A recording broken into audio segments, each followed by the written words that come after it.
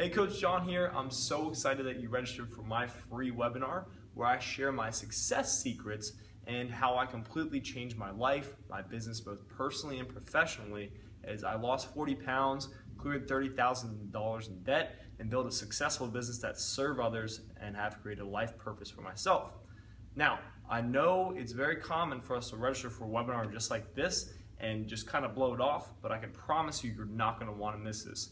So I'll send you a message in advance, but just make sure you put in your calendar now when this webinar is scheduled for. I look forward to seeing you and serving you soon.